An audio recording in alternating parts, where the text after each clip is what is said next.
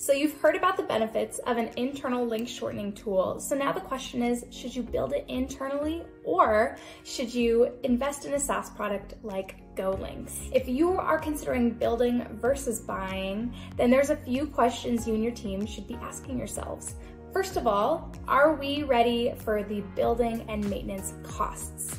So if you know anything about software development, then you know you can't just build a product and let it run on its own. It will require some maintenance. So you definitely need to think about that as you think about the costs. Number two, you should be asking, uh, will an internal system be secure enough for a company? Especially when building a minimum viable product, it might not have the security your company needs to ensure that nobody outside of your company gets a hold of sensitive information. Number three, you should ask, will we be able to scale as our company grows? So if you're starting to feel a little overwhelmed after asking yourselves these questions, then GoLinks might be a great solution for you. GoLinks is a great option for companies looking for security and stability. It also is super quick deployment. So we can have your whole company up and running with GoLinks within just an hour.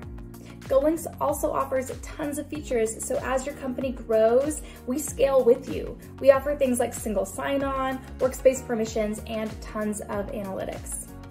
So if you're ready to learn more about building versus buying GoLinks, go check out our blog.